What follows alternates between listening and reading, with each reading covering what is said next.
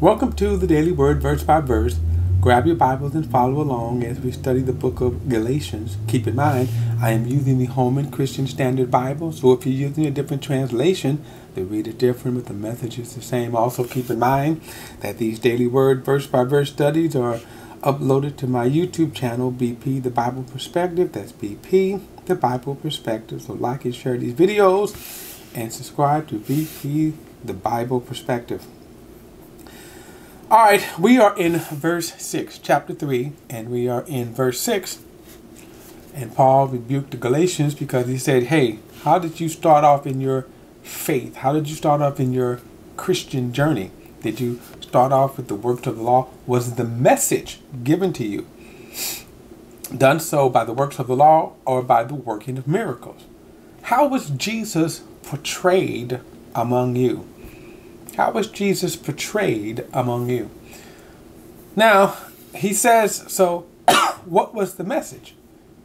What did you come to believe?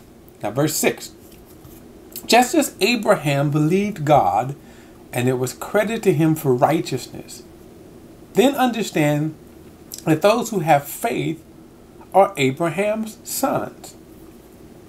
Now, the scripture saw in advance that God would justify the Gentiles by, by faith and told the good news ahead of time to Abraham, saying, All nations will be blessed through you.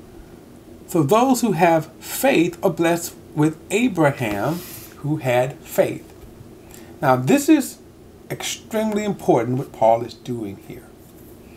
One of the things I want to kind of throw in is when Paul refers to the mystery of the gospel, and then he also remember says that my gospel, you're going to be judged by my gospel. It is because of revelations like this. When he says the mystery of the gospel, the mysteries in which God had kept secret since the foundation of the world, but now he's revealing through his apostles and prophets. Now, the reason why I say that is because this information that Paul is given, this mystery that God preached ahead of time, way back to Abraham, the good news.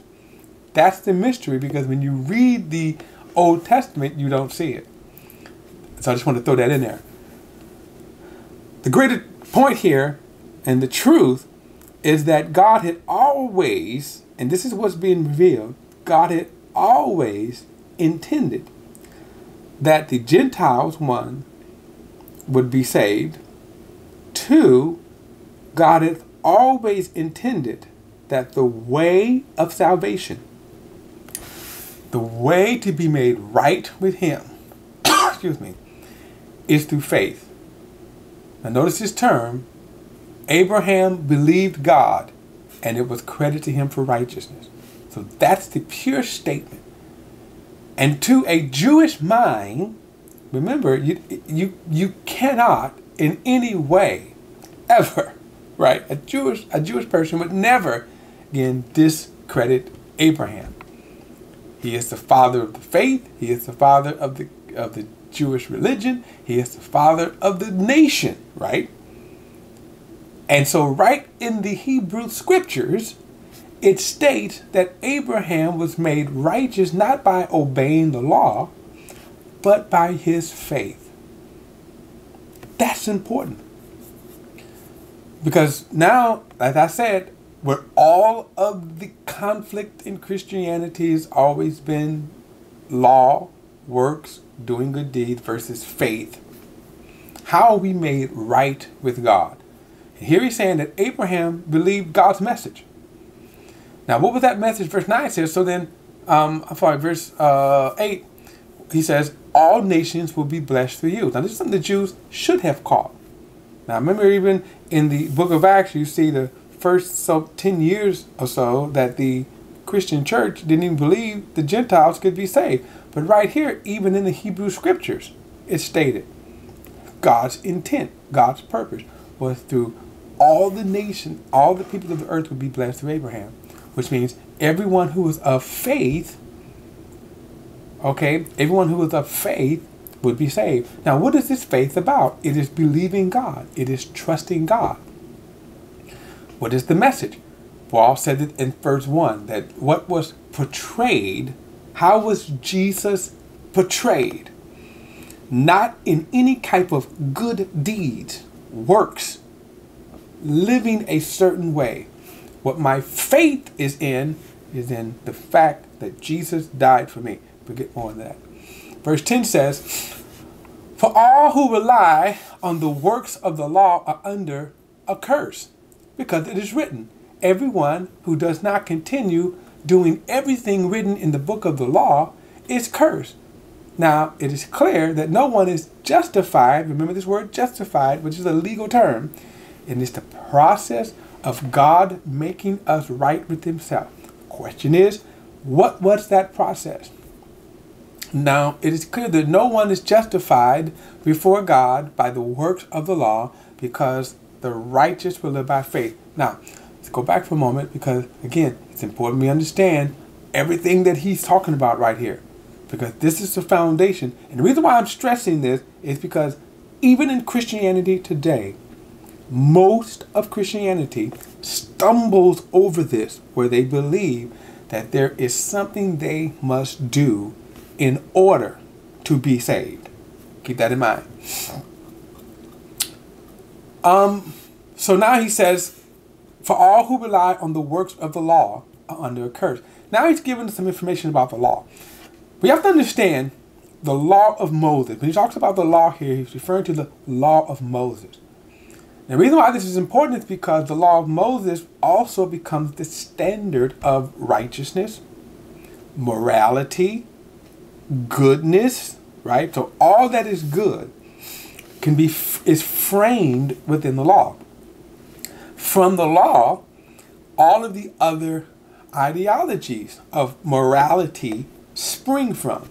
In other words, why is stealing wrong? We can go right, we can trace it all the way back to the law, not back to man's reason. And that's another story, but a lot of the people today would try to say that man in his in his reason, his intellect, would naturally grow out of um, which they blame religion on, um, but that man would naturally mature. No, that's not true. man is sinful. You start with that. The problem here is that if you think that you're going to be made right with God by obeying the law, here is the problem. You're not understanding what the law is. So he says here, everyone who continues in doing, this verse 10 again, everyone who does not continue doing everything written in the book of the law is cursed. So now we have to understand what the law is. So the law of Moses was given, and I'm going to I'm gonna jump ahead for a moment. The reason why the law was, of, of, of, was given, it was added because of transgression. So it did many things. It established God's righteousness. In other words, it, it established God's standard of goodness. Not according to man, which is a problem because whenever religion gets into it, we're going to excuse certain aspects of it in favor of our inner circle, our clique, our religion, our church, our organization. In other words, God's standard is one, man's standard is totally different. See, I could boast and tell you, I don't drink, I don't smoke, I don't do drugs, right? I committed adultery on my wife. I could boast for that, foolishly now.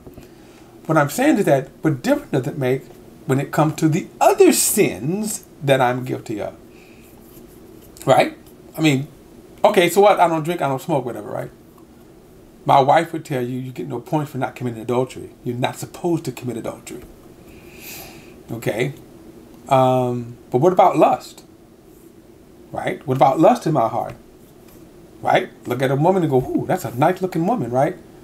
Did I sin before God? Jesus raised the bar. Remember in Matthew chapter 5, you go, yeah, you look at a woman to lust after her. Right? See, in our mind, we, we do that.